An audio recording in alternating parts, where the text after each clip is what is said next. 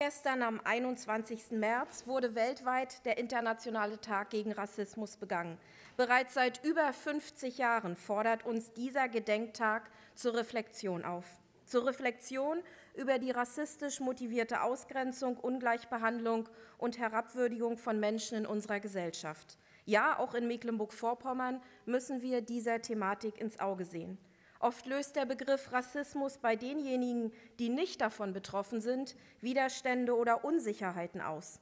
Deshalb wird Rassismus häufig abgetan oder in Schubladen gesteckt.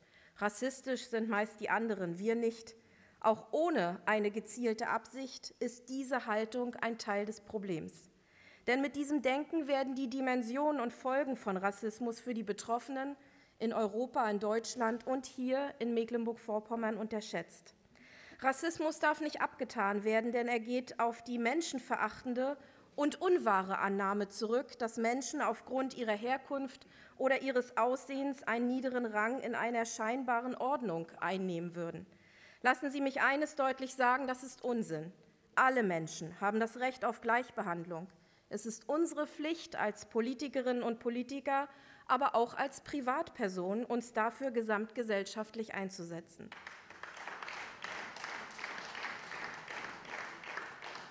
Es geht bei Rassismus nicht um individuelle Vorurteile. Rassismus stellt immer eine, ein gesellschaftliches Verhältnis dar.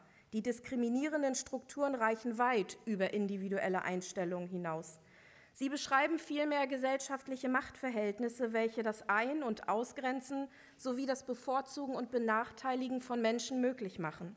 Dies schadet nicht nur den von Rassismus betroffenen Menschen, sondern dies schadet der gesamten Gesellschaft. Rassismus schafft Gräben, wo keine sein müssen, und damit erschwert er unmittelbar die Integrationsarbeit und das Zusammenleben. Sehr geehrte Kolleginnen und Kollegen, eine der wichtigsten Ansätze, Rassismus, äh, um Rassismus zu überwinden, ist es, darüber zu sprechen, aufzuklären und die Tatsache anzuerkennen, dass er in unserer Gesellschaft existiert. Mit diesem Ansinnen richtet die Stiftung für die Internationalen Wochen gegen Rassismus deshalb einmal jährlich die gleichnamigen Internationalen Wochen gegen Rassismus aus. Die Veranstaltungszeit richtet ein grelles Schlaglicht auf Rassismus in Deutschland. Vom 20. März bis zum 2. April finden unter dem Motto Misch dich ein zahlreiche Veranstaltungen in ganz Deutschland statt, ich freue mich sehr, dass die deutschlandweite Auftaktveranstaltung für die Internationalen Wochen 2023 in diesem Jahr in Schwerin stattfinden konnte, hier in diesem schönen Saal im Landtag. Ein Dank geht an unsere Landtagspräsidentin Birgit Hesse, dass sie dies möglich gemacht hat. Über 140 Personen aus Politik und Zivilgesellschaft haben teilgenommen, um ein klares Zeichen gegen Rassismus in Mecklenburg-Vorpommern zu setzen. Und einen ganz herzlichen Dank möchte auch ich an dieser Stelle an die Integrationsbeauftragte des Landes, Frau Jana Michael, richten, die die Planung für den Auftakt der Internationalen Wochen gegen Rassismus intensivst begleitet hat. In den kommenden zwei Wochen finden landesweit mehr als 100 Tagungen, Vorträge, Kulturveranstaltungen und Online-Aktionen statt. Lassen Sie mich nur ein paar davon nennen.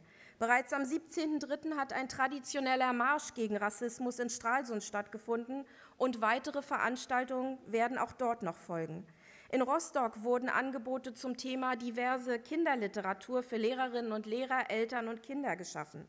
Im Landkreis Ludwigslust-Parchim wird unter anderem eine Social-Media-Kampagne Es beginnt mit dir durchgeführt. Im Landkreis Vorpommern-Greifswald findet ein Fußballturnier in Lötz statt. In Wismar werden deutsche Muslime im Zuge einer Veranstaltung von ihrem Alltag berichten. In Greifswald wird aus dem Buch Klar bin ich von hier, was ein schwarzer Junge in Deutschland erlebt, vorgelesen.